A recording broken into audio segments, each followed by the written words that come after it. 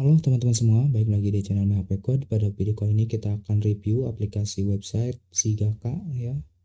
Jadi berbentuknya seperti ini kurang lebih. Dari aplikasinya ini udah uh, responsif mobile view. Jadi tampilannya begini ya, ini galerinya ya. Terus ini halaman adminnya. Nah, kita akan lanjut bagaimana cara instalasi dari aplikasinya ya teman-teman semua teman-teman bisa langsung download uh, aplikasinya ya.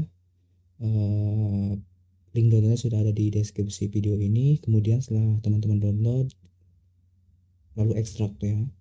Ekstrak dan kemudian kita akan cut masukkan ke dalam SAM docs lalu di sini kita paste.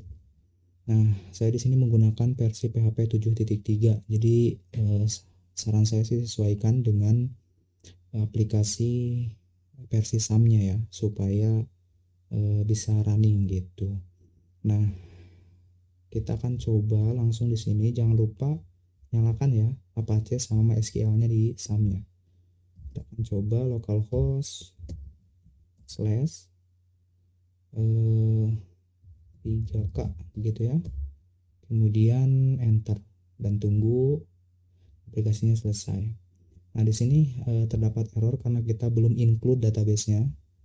Yang harus kita lakukan di sini kita masuk ke PHP My Admin localhost slash PHP My Admin untuk membuat database-nya supaya terkoneksi ya ke aplikasinya. Nah, di sini namanya database-nya yaitu db3k. Kita copy saja. Kemudian kita create new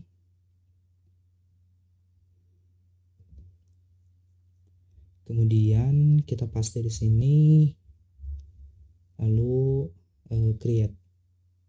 Nah di sini kita sudah membuat database baru dengan nama db underscore sigaka nah, kemudian kita akan uh, import ya. Kita import databasenya dari file aplikasi yang sudah teman-teman download. Nah tinggal kita choose file. Kemudian kita masuk ke SAM htdoc file sigaka nya yang ini. Nah di sini ada databasenya. Kita import dari sini.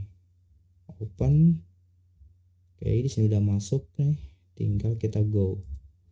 Nah di sini tunggu proses eh, migrasi datanya selesai ya. Nah setelah berhasil datanya seperti ini teman-teman tinggal masuk lagi ke sini kemudian kita refresh. Nah maka hasilnya seperti ini ya teman-teman semua websitenya.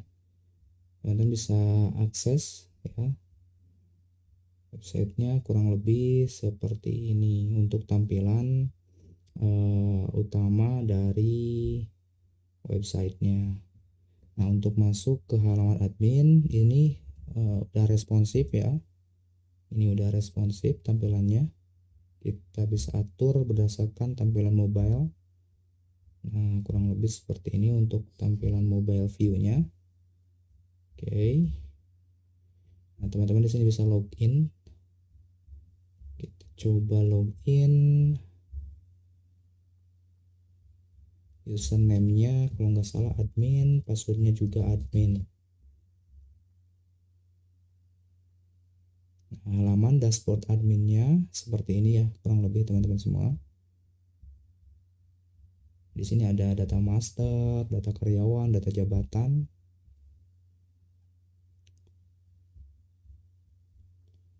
Kemudian di sini ada detailnya tambah karyawan kemudian ada eh, ini untuk nambah ya menambah karyawan data karyawan. Di sini ada detail edit dan juga hapus ya kemudian sini ada data jabatannya juga. Bisa ditulis ya.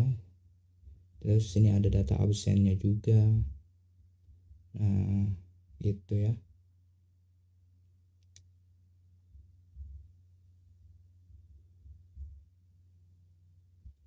Kemudian dan di sini ada gaji ya.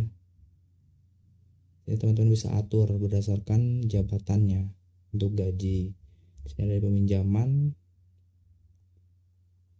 terus ini ada laporan keuangan dari eh, per eh, masukan ya. Kita misalkan coba pada tahun 2002 kita lihat. Maka akan muncul kalau misalkan eh, laporan dari gajinya sudah kita include atau sudah kita masukkan jadi aplikasinya kurang lebih seperti ini teman-teman bisa langsung saja download dan ini juga temanya kita bisa ubah-ubah gitu ya. Untuk imagesnya juga ininya berubah. Dark mode kita bisa gunakan ini juga. Nah jadi itu teman-teman semua aplikasinya ya. Teman-teman bisa download dan jangan lupa uh, subscribe ya oke terima kasih